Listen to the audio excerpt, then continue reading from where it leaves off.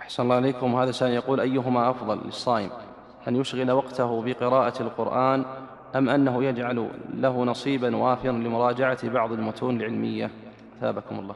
المتون العلمية يا أخي لها وقت آخر بعد رمضان. عليك أنك تشغل رمضان في مدارسة القرآن لأنه شهر القرآن. نعم.